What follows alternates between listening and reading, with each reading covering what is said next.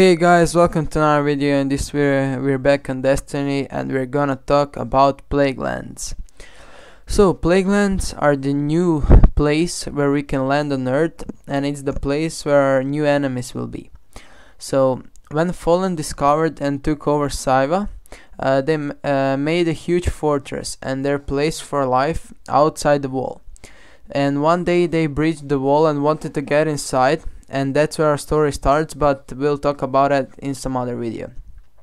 So Plaguelands are the place where fallen also uh, become fallen mutants aka splicers.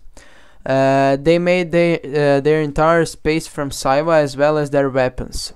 So from now on we won't need to land on the earth where we used to uh, but there will be a new place to land in Plaguelands uh, so the latest news from Bungie are that we'll be able to use sparrows in Plaguelands, so that can easily tell us how big that that place uh, actually will be.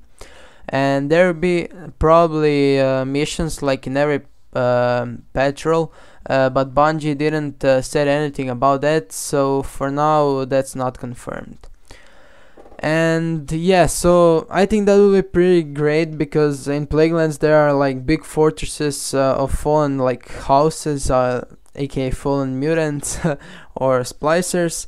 And probably yeah as i told you some new missions.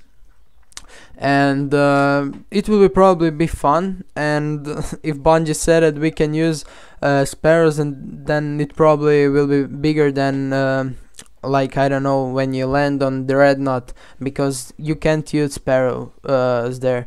It's probably too small. So splicers, uh, I mean, sorry, the uh, plaguelands are uh, gonna be like bigger than that.